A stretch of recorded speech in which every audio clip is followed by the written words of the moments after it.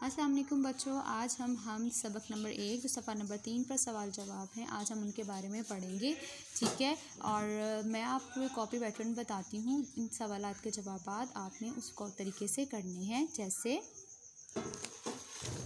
This question, आपका पहला question था, ये सारी दुनिया किसने बनाई? जवाब है, ये सारी दुनिया अल्लाह ताला ने बनाई है। सवाल नंबर दो, सबसे बड़ा हाकिम कौन है? जवाब, सबसे बड़ा हाकिम अल्लाह ताला है। सवाल नंबर तीन, सारी दुनिया को रिस्क कौन देता है? सारी दुनिया को रिस्क अल्लाह ताला देता है।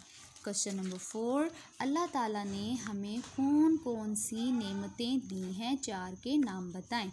चाँद, सूरज, पानी, दरख्त। सवाल नंबर पाँच, अल्लाह ताला ने हमें बेशुमार नेमतें दी हैं। हमें इन नेमतों के लिए क्या करना चाहिए? हमें इन नेमतों के लिए अल्लाह ताला का शुक्र अदा करना चाहिए। ठीक है? आपने ये काम कर लिया। उसके बाद आपने अपनी किताब का सफ़ा नंबर चार पे आ जाना है, ठीक है? ये आपका होमवर्क है। इसमें आपने क्या करना है? सबसे ऊपर लिखा हुआ है, इन अल्फाज से मिलते जुलते लफ्ज़ नज़म से तलाश करके लिखें। जैसे जब, प्यारी, माला। मैंने आपकी आसानी के लिए फिल किया हुआ है। जैसे रे जब, रब, कब, ठीक है? ये मिलते जुलते अल्फाज हैं।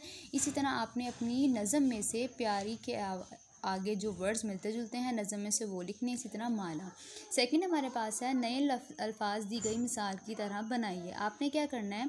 जैसे बे ना प्लस का साइन, हमज़ा छोटी ई, इन दोनों को आप प्लस करेंगे तो क्या बन जाएगा? बनाई। अब आपने यहाँ पर क्या करना है? यहाँ पे आपने हमज़ा छोटी ई लगाना है, ठीक है? फिर बबू बन जाएगा बसाई और आपने यहाँ पर बसाई लिखना है। ये पेज आपको होमवर्क का है काइंडली इसको करें और मुझे चेक करवाएँ। Thank you